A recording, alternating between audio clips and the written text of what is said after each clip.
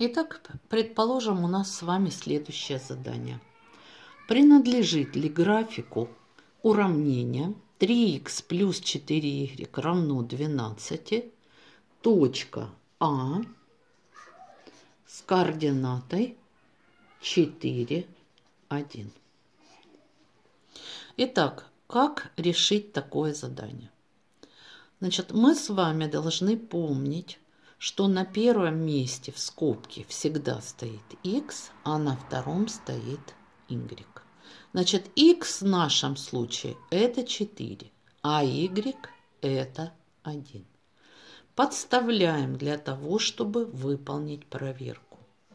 3 умножить на x. x это 4. Значит, 3 умножить на 4 плюс 4, y это 1, значит умножаем на 1, равно 12.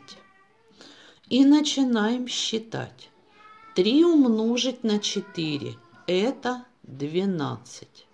Прибавить 4 умножить на 1 это 4 равно 12.